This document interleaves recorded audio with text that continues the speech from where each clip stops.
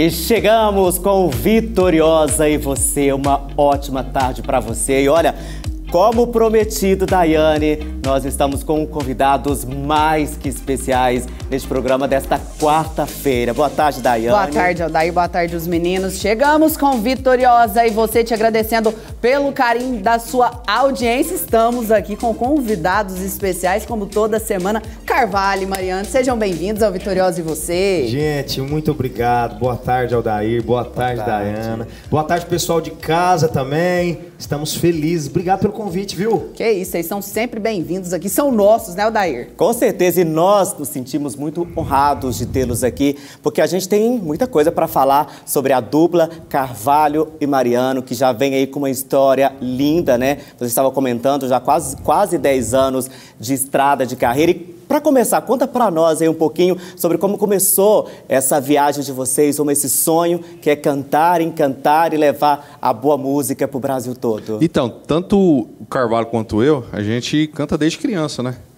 E a nossa história é bastante engraçada que a gente começou a cantar na igreja. Eu cantava em casamento na época e fui convidada para cantar no casamento do irmão do Carvalho. Chegou lá o Carvalho, chegou perto de mim, ô, oh, vamos cantar uma música junto, meu irmão. Falei, bora. E de lá a gente formou a dupla e tá aí até hoje, graças a Deus. Saímos de lá casado também. É, viu, o Pato chamou nós casado no cantinho. também? Mas vocês dois casados, dois? É. Ai, que susto. Mas, é, tudo bem, mas, tudo bem. mas É quase um casamento, viu? a dupla é quase um casamento, que eu fico mais com ele que com minha mulher, viu? Isso é a verdade é essa. Isso é verdade. E a Mas a- o que as pessoas, então, não são irmãos de sangue. Não, não somos irmãos de sangue, mas a nossa conexão é muito forte. Eu acre- eu- nós somos muito temente a Deus e eu acho que Deus tem propósito para as nossas vidas. Não colocou a gente naquele lugar à toa, porque normalmente as duplas se conhecem nos botecos, nas casas de luz vermelha. É ou não é, Adair? Com certeza, é Nós verdade. nos conhecemos Ou se- na igreja. Ou senão na universidade, né? É, verdade. sertanejo muitas duplas universitário, surgem né? assim, né? E a gente sabe que é um trabalho árduo, né? Até porque vocês disseram essa ausência da família. E é algo que realmente tem que estar sempre prezando por isso, né? Por, por a cumplicidade entre os dois e também a equipe, não é? Na estrada nós já passou de tudo, até dormir junto, nós já dormiu, moço. Já passamos uns maus bocados aí, mas é igual você falou, tudo é aprendizado. A gente está nessa busca aí constante para trazer qualidade de vida para os nossos familiares, para a nossa equipe também, que hoje são mais de 18 famílias que nos acompanham nas estradas. Tem também o pessoal do comercial, então assim, a responsabilidade ela é muito grande, sabe, o Aldair? Imagino. E agora, lançamentos. A gente sabe que vocês gravaram um DVD aqui, Uberlândia. Foi um sucesso, com várias atrações. Eh, Vocês podem falar para nós aí dessa gravação. Estão lançando os EPs, né, periodicamente. Tem uma Justamente. música que está sendo trabalhada nesse momento. Mas sobre a gravação do DVD, como foi tudo para poder chegar a esse trabalho lindo que ficou? Então, esse DVD foi lindo, né? Igual você tá vendo aí as cenas dele. É, foi gravado aqui em Uberlândia, lá no Castelo Master. Teve participação de John Amplificado, Rio Negro e Solimões, é, Guilherme chorar Benuto. Você tá, e essa música Aí aí é eu vou te falar. chorar mesmo. Lucas Luco também, né, meu irmão? Lucas Luco, Rudan e Rafael, Diego Vitor Hugo. Diego Vitor Hugo. Só participação maravilhosa, a gente ficou muito feliz com, com o resultado final, né? Esse DVD ficou lindo demais.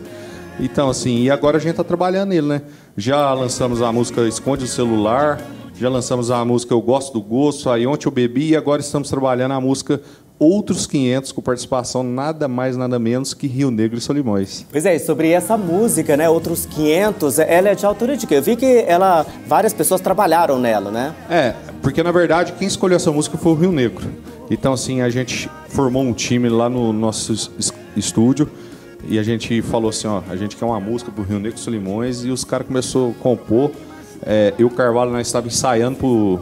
Essa música entrou nos 45 do segundo tempo. A gente estava ensaiando já pro DVD e a gente conseguiu, graças a Deus, acertar nessa música junto com ele. Roda um, um trechinho da música aí pra gente. O diretor tá pedindo aqui só pra ele dar uma chorada lá no CPP. Pode rodar. Pode rodar. Entre um beijo e outro me olhava de canto de olho Só no desaforo pra me machucar Não precisa provar, já sei que eu perdi meu lugar falar que eu tô legal, eu tô mentindo Ai, ai, ai, chorando por dentro, por fora sorrindo Pior de tudo é que eu tava sabendo Tá, e aí é pra sofrer mesmo, né, Odair? Muito bonita, né? E quando vocês param para pensar que são quase 10 anos de trabalho e vocês colocam no palco Rio Negro e Solimões, um grande nome da música sertaneja no Brasil, como é que fica o coração de vocês? É muito emocionante. Eu sou suspeito para falar de Rio Negro Solimões, né? Que meus pais meus pais são ex-boia frias, né? Meu pai, eu tenho algumas lembranças do meu pai acordando de madrugada para ir trabalhar na roça e às vezes ele ligava o raidinho lá e tava tocando Rio Negro Solimões. E de repente, olha para você ver como é que é o destino. E de repente você tá ali gravando uma música com, com o seu ídolo, né? Meu pai no dia ficou bastante emocionado, tirou foto com eles. Então assim, é, é, sem, sem palavras, né? É, eu acho que Deus é, igual eu falei anteriormente, é propósito de Deus nas nossas vidas. Tá tudo dando certo, pessoas maravilhosas. Ele tem colocado durante toda essa trajetória de Carvalho e Mariano. A nossa história é uma história muito bonita. A gente trabalha de verdade. Então, muitas coisas boas ainda estão por vir aí, se Deus quiser. Que bom. Mariano, eu ia comentar, né? Ele falou do pai, dessa participação o trabalho está consolidado, mas sabe como ele disse, né? Tem muito ainda por vir. O que, é que vocês estão projetando por aí? Então, é, a gente está pretendendo gravar mais um DVD, que é a continuação de um projeto que a gente fez aqui em Uberlândia, que deu super certo, chamado FDS. Fim de semana com Carvalho e Mariano. E a gente vai pôr FDS 2, já estamos começando a separar o repertório. Se Deus quiser, até no final do ano agora a gente grava ele. É um DVD topíssimo. É, e daqui a pouquinho, na volta do intervalo, a gente vai falar sobre Barretos. Daqui a pouquinho, Vitoriosa, e você faz uma pausa, daqui a pouquinho a gente volta.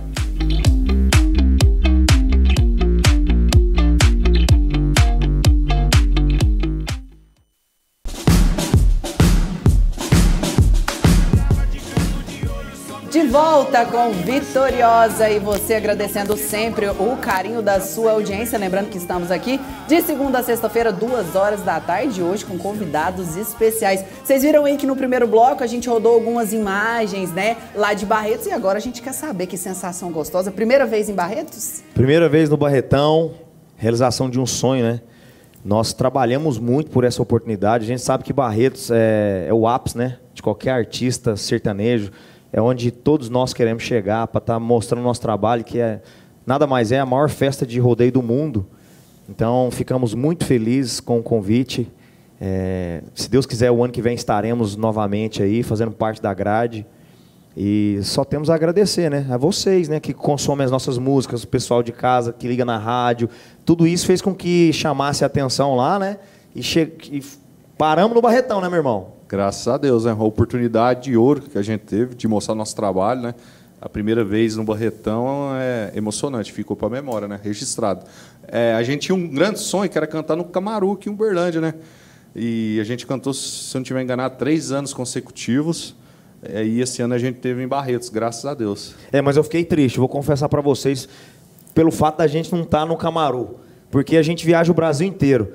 E estar no Camaru, para nós, tem um significado muito importante. Por quê? Porque aqui estão as nossas famílias, não é todo show que eu posso levar meu pai, minha mãe, tem um amigo, tem um professor da antiga, sabe? Então, tocar no Camaru é, parece que é, a, é o fechamento da, da, da, da nossa turnê do ano que é poder proporcionar para o povo de Uberlândia o nosso show, o nosso espetáculo, sabe? E você tocou num, num, assunto que eu sempre falo isso.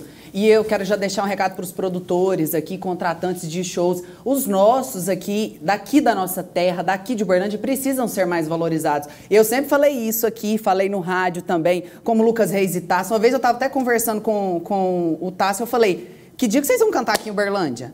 Então, são daqui Carvalho Mariana e a gente espera que no mês que vem tenha show aqui para a gente poder ir de vocês. É, e não só esses que você acabou de mencionar, mas Uberlândia, graças a Deus, ela é um, um celeiro aí. Pioneiro, de, né? É, é, Tem, tem grandes artistas mas, aí. Infelizmente, Uberlândia vai nós vai demorar a cantar aqui. Graças a Deus, não, nossa agenda tá. Ah, então não tá vai demorar. Mas se Deus quiser, o ano que vem estaremos no Camaru. Não, é, exatamente, é. não vai demorar. Vai ficar aqui registrado, né? Esse, esse nosso pedido para que vocês estejam no Camaru 2024. E, inclusive, é já está aí, ó, contato para shows, está aí no nosso, na nossa telinha aí. Pode, é, lá o arroba Carvalho Mariano também, pode seguir Mas no pode Instagram, falar né? nossa agenda aqui rapidinho? Com pode. certeza, eu ia você até falar para vocês. Agenda, acho que eu tenho a colinha aqui. Eu mandei Mandei pro pessoal, pessoal do, do- Já pode, ó, papel e caneta na mão, já pode anotar. Carvalho e Mariana, agenda de shows aí lotada. É, gente, con- mas tem mais uma beiradinha, pode contratar mais, nós estamos precisando É, trabalhar. isso mesmo.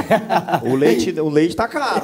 Bora, uma agenda 30 dias. Ó, Monte Carmelo, estaremos aí, dia 6 do 10, 7 do 10, Serra do Salitre, é, ali, distrito de Catiara, dia 14 do 10, São Francisco dos Sales, dia 20 do 10, estaremos em Anápolis com os nossos irmãos Zeneta Cristiano, dia 21 do 10, estaremos em Coromandel, e dia 22 do 10, essa data é uma data especial que a gente vai fazer um show beneficente aqui em Uberlândia, que é pela, chama Vozes pela Vida.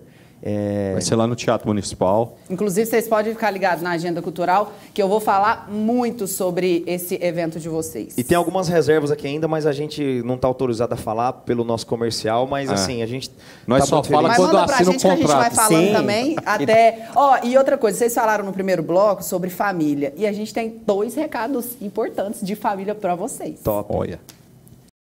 Boa tarde, família da Vitoriosa e a Carvalho Moriano também, que é nosso filho, que amamos muito, que desejamos tudo de bom para eles, para Carvalho também, que também considero meu filho. Eu quero que vocês tenham sucesso, que esse sucesso venha, que cate vocês assim e seja muito, muito feliz. Nós te amamos muito, viu? Sucesso, garotada. É isso Tudo de aí. bom. Pau na máquina. Isso aí. Beijo. Tchau. Olá meninos, passando aqui para poder desejar para vocês todo o sucesso do mundo. Falar que só quem tá com vocês desde o começo consegue ficar feliz, emocionar com cada conquista de vocês.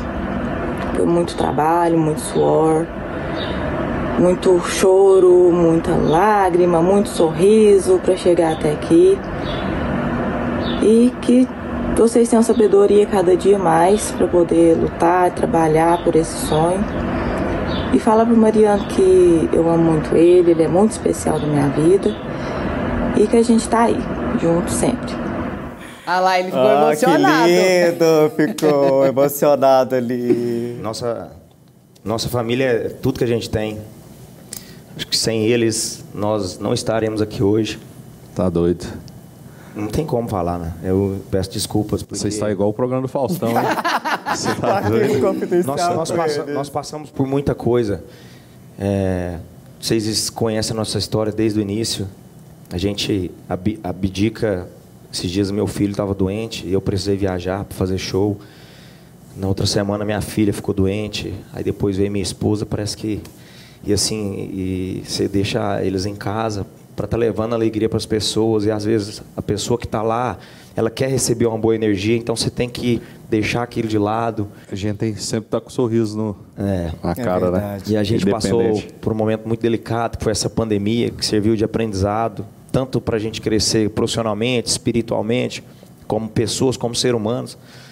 Então, você ter o apoio da família, isso é algo que é impagável, sabe? Olha, a gente está finalizando o programa. Agradecer pela presença de vocês aqui. Contem sempre com a TV Vitoriosa e muito sucesso para vocês, viu? Obrigado. A gente, gente- agradece o carinho.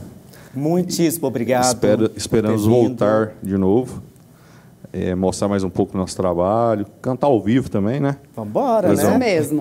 é isso aí, Vitoriosa, e você fica por aqui. Amanhã a gente tá de volta. Obrigado pelo carinho da sua audiência. Tchau, gente. Até amanhã. Não precisa provar, já sei que eu perdi meu lugar.